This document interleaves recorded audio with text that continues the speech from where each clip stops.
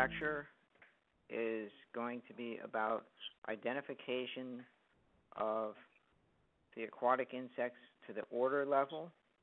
Um, this is a course that I teach here at Chico State on aquatic ecology, and we'll move forward now.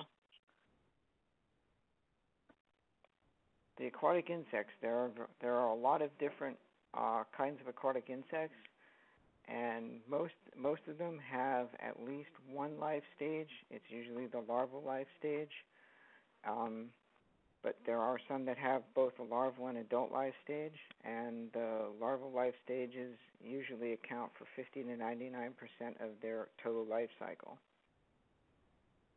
Um, they are a very successful group that lives in the freshwater aquatic environment and they have pretty much exploited nearly every possible niche within rivers and streams and lakes. Um, there are in North America there are 10 orders of aquatic insects and over 80 families with hundreds and hundreds of genera and species. An overview of the freshwater insect orders in North America freshwater the freshwater insects fall into two major groups of insects the hemimetabolous insects and the holometabolous insects. Hemimetabolous insects are insects that do not have a a pupal stage in their life cycle. Holometabolous insects are insects that do possess a pupal stage in their life cycle. Amongst the hemimetabolous insects are the ephemeroptera the order Odonata, and today we will cover we will cover the sight identification of both the Anisoptera and Zygoptera, the two major suborders within that within that order. The Plecoptera, also known as the stoneflies, the Hemiptera, the Megaloptera, and today there since there are only two families occurring here in California, we will show you how to identify both families in, within the Megaloptera the neuropterans, the there and there are orthopterans. We will we will not cover orthoptera since most of the or, since all of the orthoptera that occur here are really only semi-aquatic and not fully aquatic. Amongst the holometabolous insects, there's the Lepidoptera, relate, and it's the same order related to butterflies and moths that we see in the terrestrial environment the Trichoptera, or caddisflies, which are closely related to the Lepidoptera, the Coleoptera, or beetles, the Diptera, or the, also known as the two-winged flies, and there are also some Hymenoptera, which parasitize aquatic insects, but we will not discuss how to identify those since actually collecting those and seeing them is very rare.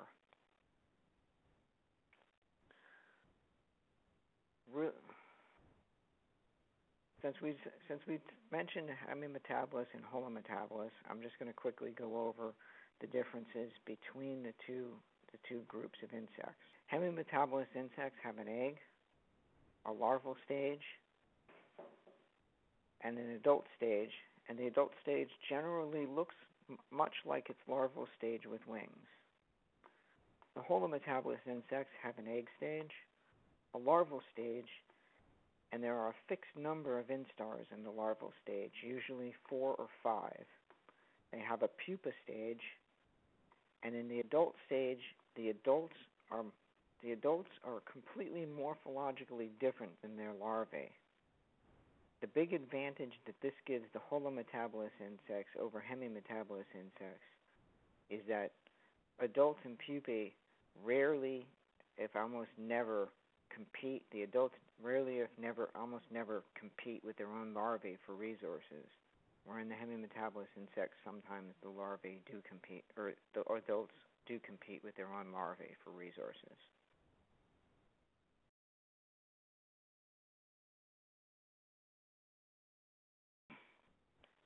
We're going to go over a quick review of aquatic insects, and then I'm going to go into how to sight ID each of the orders in depth.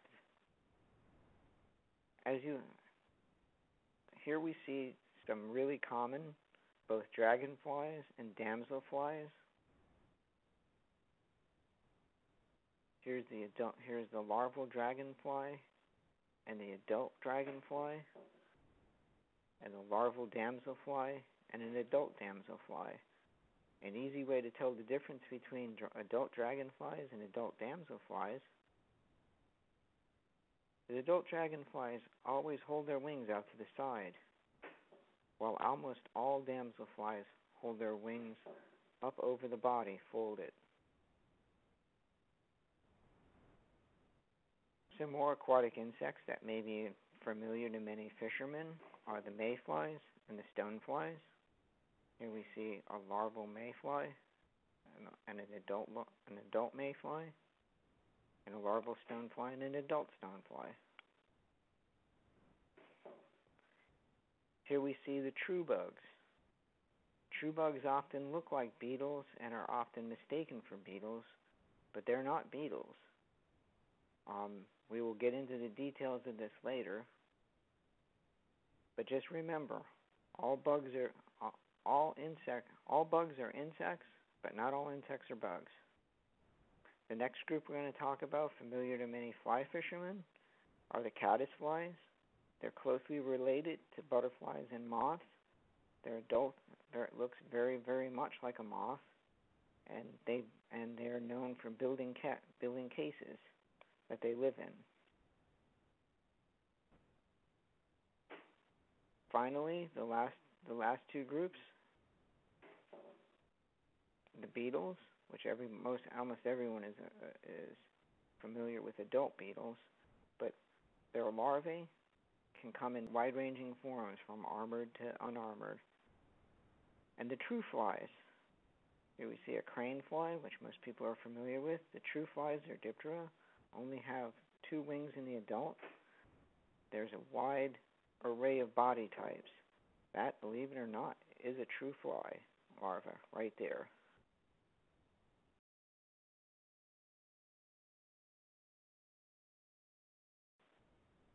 Now we're going to start into, I'm going to go through each order and we're going to talk about characters that you can use out in the field very quickly to help you identify the bug that you have in hand that you just collected. First, the Ephemeroptera, also known as the mayflies. Ephemeroptera typically have three tails called cerci they have gills on the abdomen, either either dorsal, either held dorsally or laterally. Usually they're plate-like, but they can also be feathery, or as you see here on this Leptophlebia, they can they can be um, bifurcated. Down here we see plate-like gills on this larvae. Mayfly mayfly larvae only have one tarsal claw at the end of each leg. They have one obvious pair of wing pads. And these and mayflies are mostly omnivorous and herbivorous. Here we see some more mayfly larvae. Right here you can see the plate-like gills, and they're held laterally. Here we see a, a mayfly larvae in the family Caenidae. And here we have a special type of gill, which is an operculate gill. It's a sclerotized gill to protect the softer feathery gill, featherier gills that are found underneath. And you'll see that see that this gill here is actually held dorsally over the abdomen.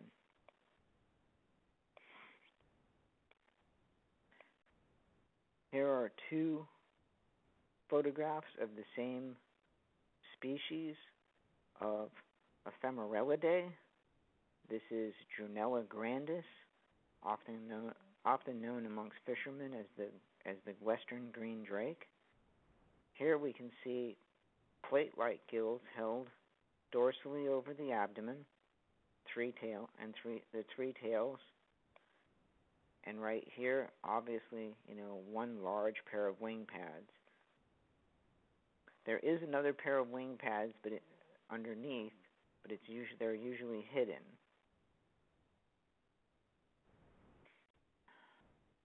The next order is the Odonata.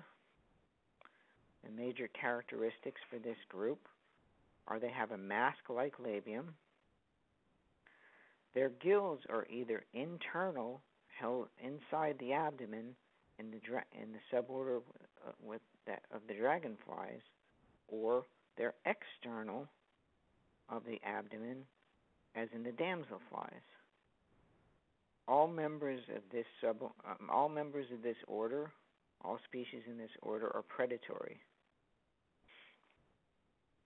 Here we see these are the labial mask structures um, that basically define the order.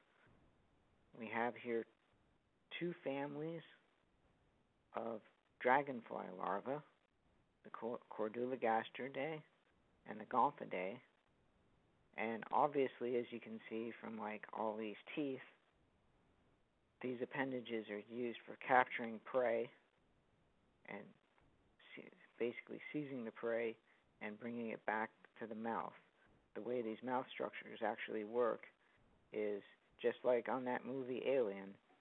They they increase hydrostatic pressure, and this shoots forward. These mandibles open up, and they and when they release the hydrostatic pressure inside the appendage, it contracts and grabs, seizes the prey, and drags it back to the mouth. Now we'll talk about how to identify each of the suborders of Odonata. The first suborder is the suborder Anisoptera, and this suborder is the is the dragonflies. Here we see a dragonfly from the family Libellulidae, and as you can see here, there are no obvious gills coming out of the abdominal region. They have no obvious gills on, on their abdomen anywhere. And that's because the gills are held inside an air sac, which is attached to their anus, and it's held inside inside the abdominal cavity. One thing that dragonflies are able to do in the larval stage that no other uh, aquatic insect is able to do is because they have this this chamber in, within held within the abdomen where their gills are, they can fill that chamber with water and then make sharp make a sharp contraction of all of their abdominal muscles and can, they can force that water out and they can actually propel themselves forward very very quickly um, with with short blasts of water and they use that they use that locomotion to attack prey or flee predators. Here we see the larva of the Zygoptera or the damselflies, and here we can see the opposite um, uh, configuration from the dragonflies or the Anisoptera in that the damselflies hold their gills are their gills are attached permanently outside the back of the tail end of the body, and they often are confused for tails.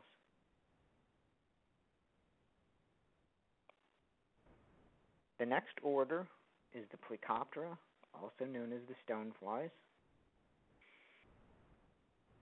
Plecoptera can be identified by basically having two tails or cerci,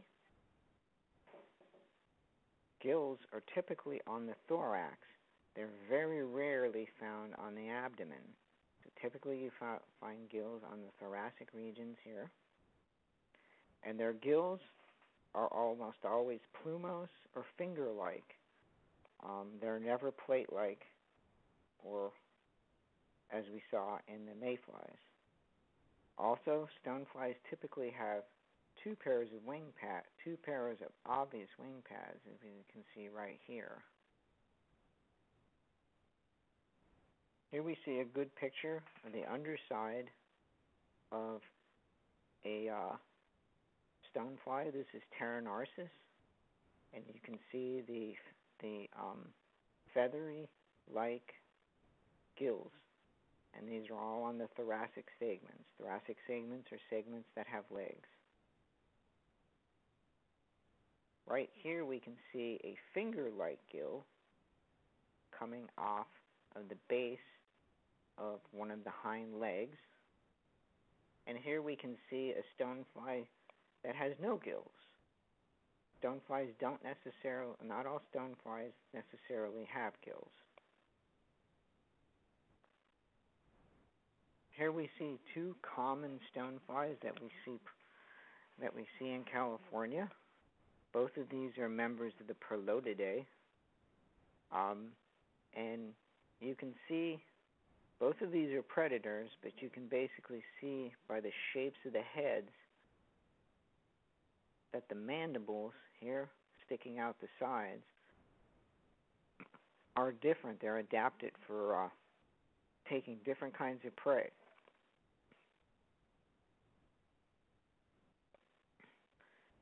Here we see basically if you're along a stream and you're looking and you want to know what kind of stoneflies are around and active at that time, you don't even always have to look in the water. A lot of times they emerge as stone when stoneflies emerge, they crawl up onto a log or a rock, and they shed their skin, and fl- and the adults fly away. And you can often collect uh, larval skins from stones and if they're still wet and pliable, you can take them back to the to the lab and look at them underneath a microscope and still identify them to genus and sometimes even species. Okay, the hemipterans. These were the true bugs, and the way the char- what characterizes the hemipterans, their name literally means half wing. The first the first set of of wings, half of the wing is membranous and half of the wing is sclerotized. When the wings are folded back over the animal, this forms an X, an obvious X on the back. The other major character that defines the hemipterans is that they have piercing and sucking mouth parts. The, mouth, the, the mouth parts appear to be like a big um, spike or needle, and it's composed of four sets four sets of mouth parts, the mandibles and the maxilla, and they actually can drill right into their victim or the plant, either an animal or another plant that they're feeding on, and uh, the drilling action looks very, very much like that of a jackhammer. All of the hemiptera that you'll find in aquatic environments are all predators and because they and because they possess these piercing and sucking mouth parts, they can give you a very bad stabbing bite. It hurts. I've been there, I've done that. Here we see two different two different um, families of common families of hemipterans. Here are the naucorids, and these are these are fairly common in streams in California, in the foothills, uh, uh, and the, the valley areas of the Sierras. Here you can see the X configuration on the back, formed by the overlapping forewings. Here we have a Notonectidae. This is a very common aquatic hemipteran that's found in ponds and and ponds and bogs and lakes here in California. Here you can see that biting and sucking mouth part, that long needle-like structure coming down out of the mouth. The next order are the Megaloptera. These are also called hellgrammites and fish flies. The abdomen of the of these animals has seven to eight pairs of lateral gills, lateral gill filament, and the gill filament or gills are at a filament-like configuration, um, with one pair on each segment segment nine with an a- with anal hooks or single median caudal caudal filament. All of these all of these species in in this order are all preda- preda- predaceous. The Megaloptera are not a very taxonomically rich group, probably because they're predatory, and there are only two families within the order the family Corydalidae and the family Sialidae. Both of, both of these both of these families are very common in streams and in California, especially the wadable streams that we sample as part of our biomonitoring programs. The way to tell the difference between each of the families is very simple. All you have to do is look at the last anal segment. None of the none of the Corydalidae have a have a median have a median caudal filament, where all of the Sialidae all have a median caudal filament. The next order is the Neuroptera. There's only one family Sisyridae. The characters that define them, they have mouth, mouth parts formed into a long thread-like suctorial tube. The lateral seg they have laterally segmented gills, but they're folded up underneath the abdomen. The animals are very small; they're less than 10 millimeters, and they all and they are all adapted to feed on on freshwater sponges. Here's a photograph of a Sisyridae or a spon or the neuroptera in the sponge this, the larva living in a freshwater sponge.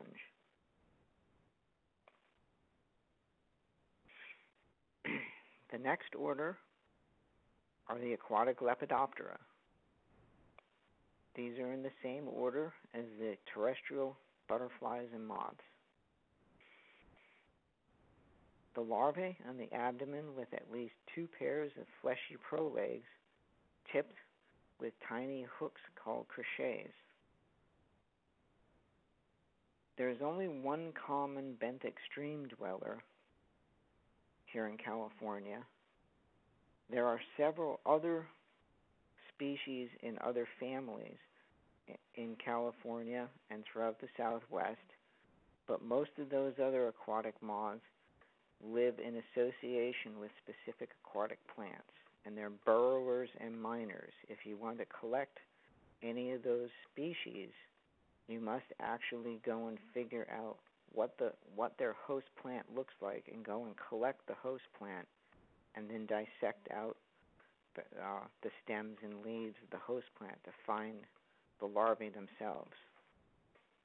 We're gonna we're going to talk about just the one common benthic stream dweller that we will encounter.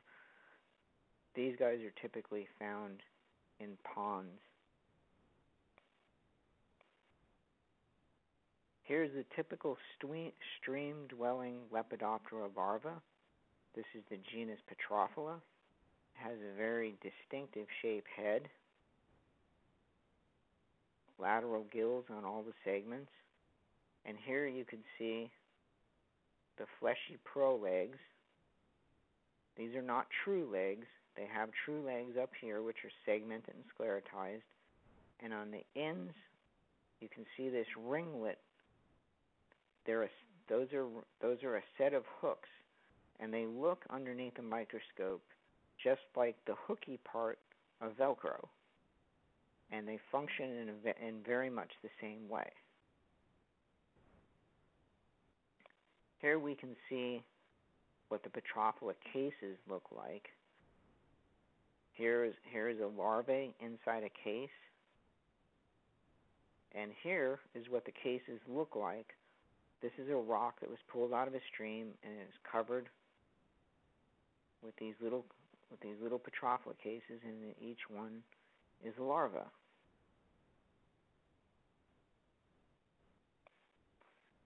The next order is the order Trichoptera, also known as the caddisflies. The caddisflies are one of the biggest aquatic aquatic groups in the world.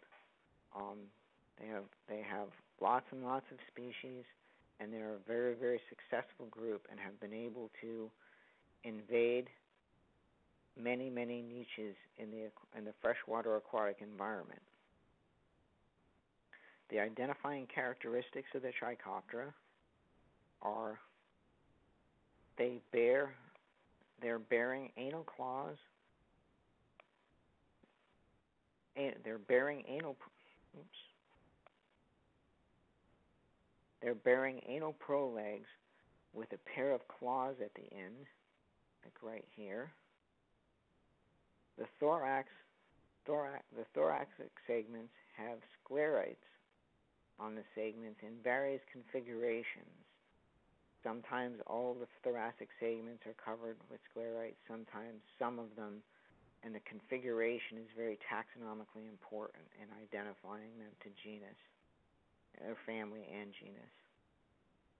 The abdomens are membranous, so there's typically no sclerotization on the abdomens. And some of them have, uh, most of them have either finger-like gills or they have filamentous-like gills like here. You can't see it on this guy, but he'll have finger-like gills. Most most caddis flies either build some kind of some kind of case or they build some form of silk retreat that they live in. And I'll show you some of those later. Um, there are very few families of free living um, Trichoptera. Uh, the ones that the one family that is where all the members, all the species are free living is a very active predator. Um, amongst the cat, amongst the Trichoptera, there are a lot of different feeding methods. You have you have shredders, you have grazers, collectors, and predators.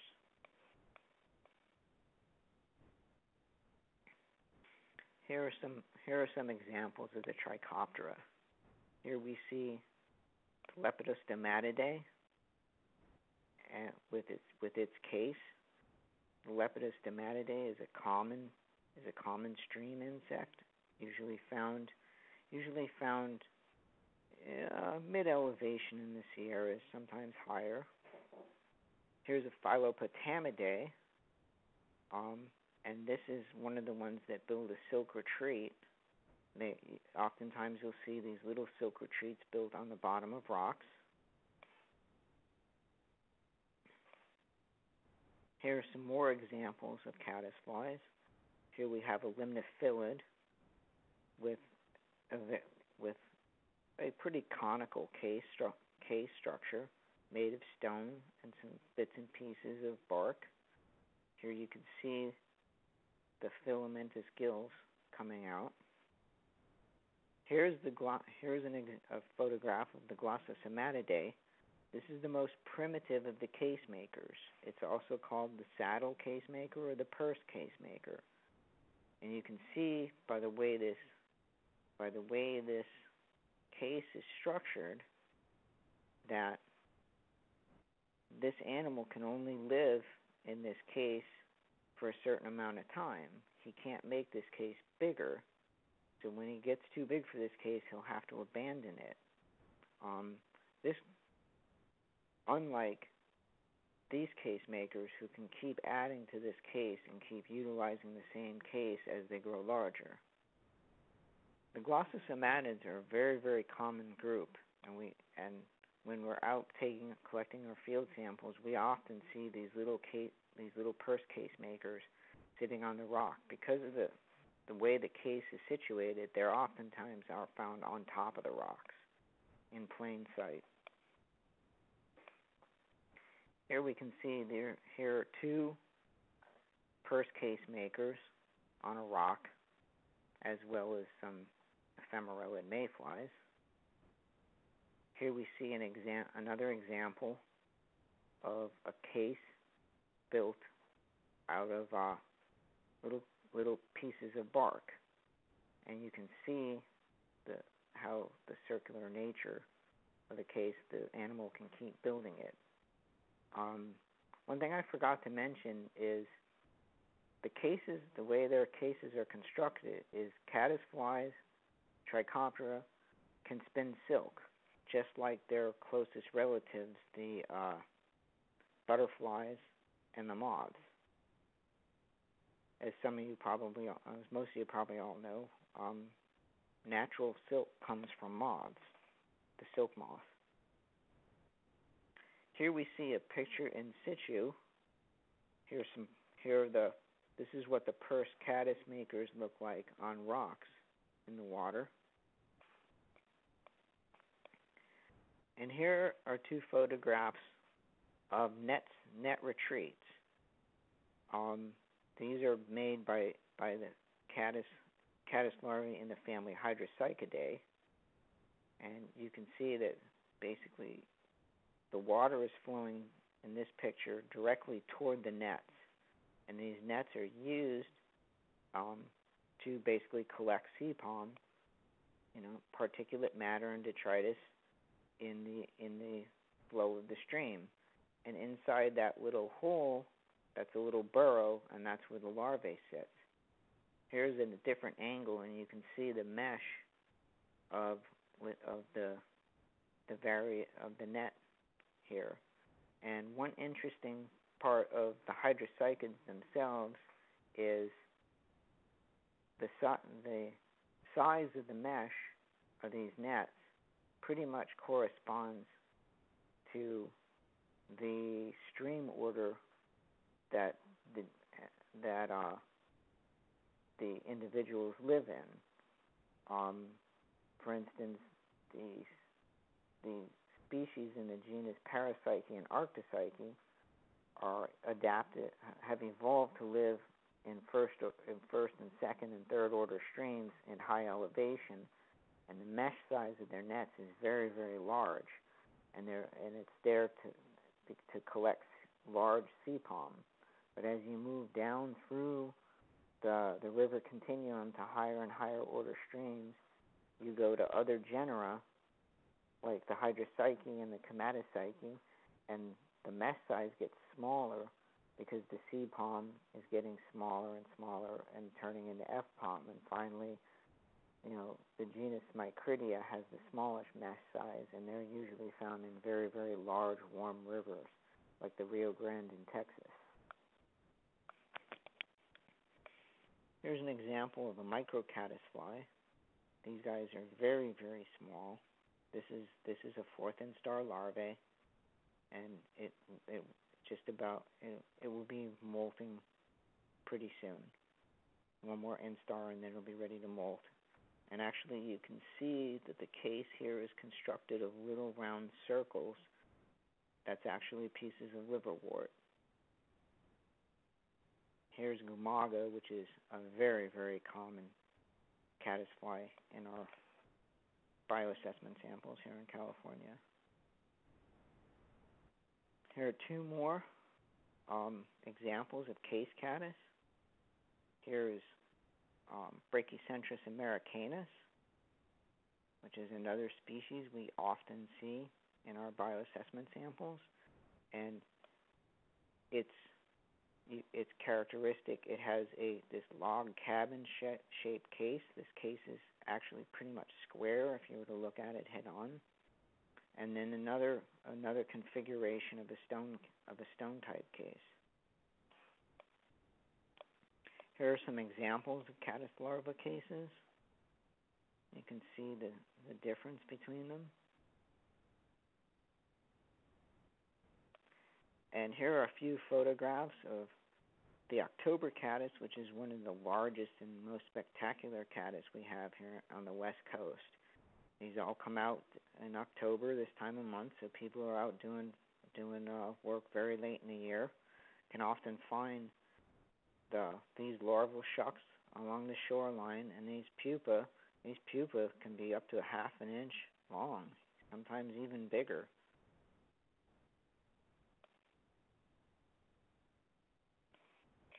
Okay, the next order, the Coleoptera, or the, also known as the common by the common name of beetles. Um, the adults are very, very common, and I don't know that we need to talk too much about how to identify them. Um, but larvae may have larvae may have a body. the larvae may have a body that's completely sclerotized, including its abdomen. Uh, the larvae do not have anal prolegs like Trichoptera, but they may have an anal claw. So that can cause confusion when you're first trying to identify them to order. The adults have the characteristic beetle form and they have that hardened uh, called elytra. Um, it's a very, very sclerotized um, elytra that folds over. What the elytra actually is is it's is it's the forewings of the of the beetle. Um, beetles only fly using their hind wings. Underneath this hard sclerotized forewing, called an elytra, is the hind wing, which looks like a normal wing. And when beetles fly, they flip up these elytra and they deploy their wings out to the side and then fly. And all of all of the aqua- all of the adult freshwater aquatic beetles are still capable of flying. Here we see a couple examples of adult and larval um, aquatic beetles. This is a dytiscid, very, very smooth, streamlined body form. Here is an example of an elmid. The body is heavily armored.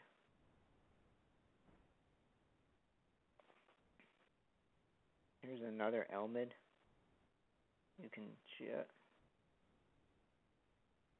Again, with a heavily armored body form and another dytiscid. Okay, the last order of aquatic insects that we're going to cover today are the Diptera. The Diptera are characterized by the fact that they have no they have no sclerotized legs. There are, so they're completely lacking in sclerotized legs. Their head of the larvae may be sclerotized and visible, it may, or it may be reduced to a few mouth parts. And sometimes there is an intact sclerotized head, but it's but it's sucked into the thorax of the body, so it's not apparent that there is a head at all. The body is fleshy and can have various configurations of prolegs, anal legs, and claws. Um, they have various types of breathing structures on various parts of their body. So some have some have spiracles on the end, some have breathing tails, some have breathing holes up here.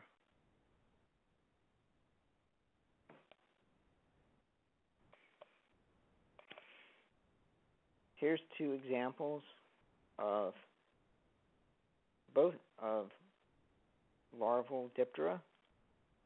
Both of these are Diptera with sclerotized head, head capsules. Here you see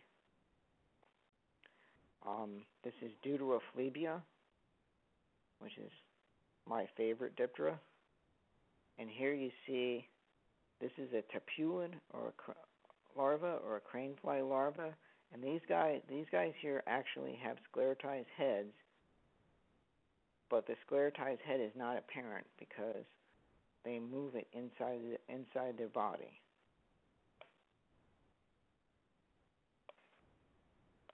Now, within the within the order Diptera, the family Chironomidae is the most important family within that order, and the chironomids are probably um, are, are one of the most important uh, groups in freshwater environments. the Chironomidae have more species than all of the other aqu- freshwater aquatic insects combined, and they are probably constitute most of the biomass in any stream, river, or lake that you go to sample. Their characteristic body shape is they have a sclerotized head capsule that's pretty obvious. They have a of prolegs directly below the head capsule.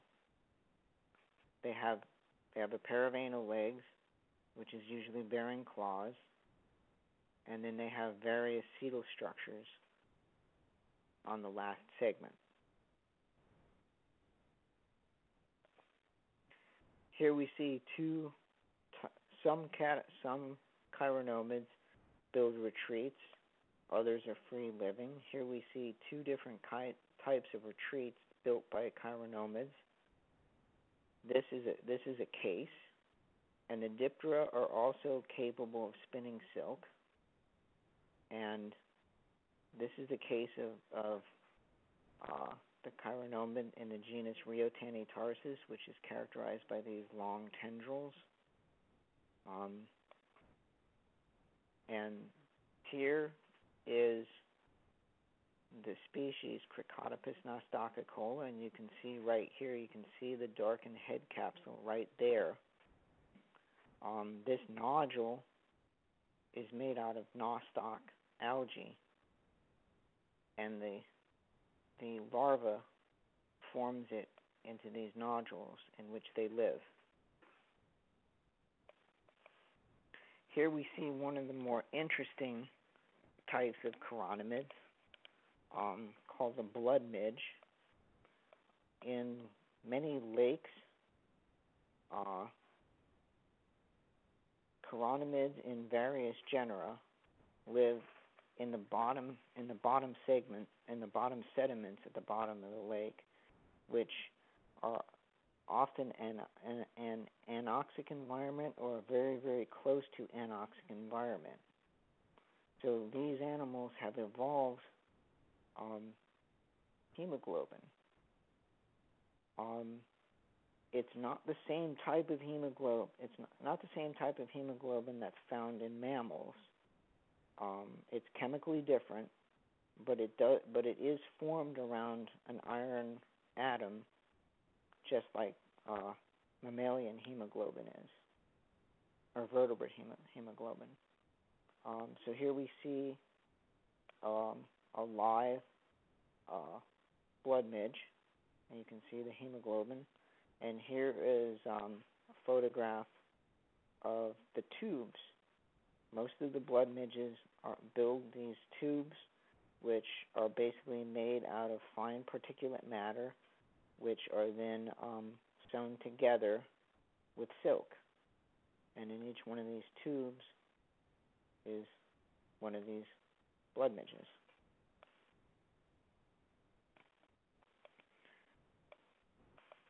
One of the problems with uh,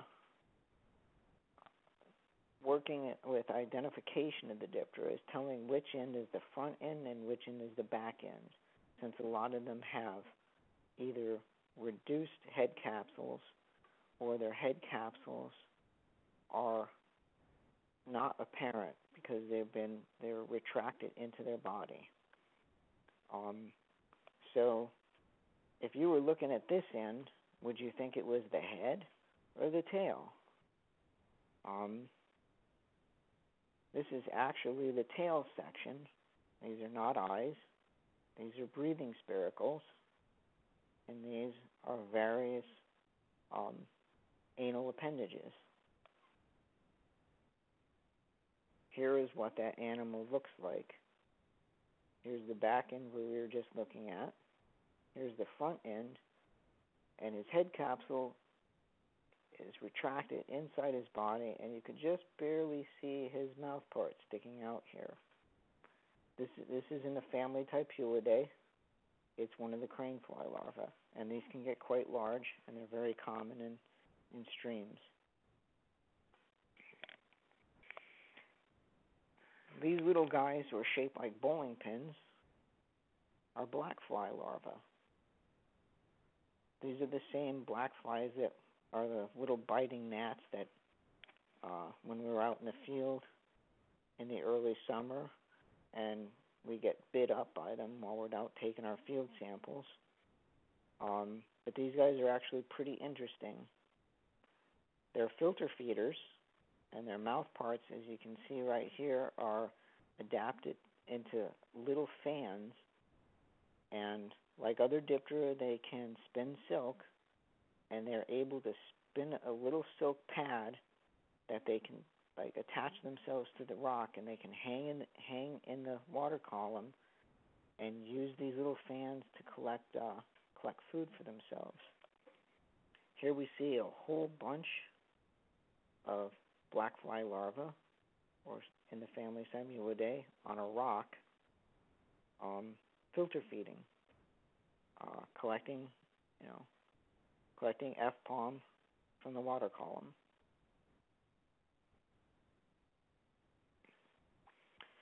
Here's our final example of the Diptera. This is the head in here. Um, here we see a long breathing tube, and you can just barely make out the tip here, where there's uh, two little spiracles that it can use to breathe. Um, these guys are often found in muddy sediment, mucky sediments, or very, very nutrient-rich sediments, or in sewage tailings. Okay, and that concludes the talk today. Um, I hope this uh, helps folks uh, when they're out doing their field work and stuff to um, be able to identify some of the critters while they're collecting them and get to know them better. Thank you.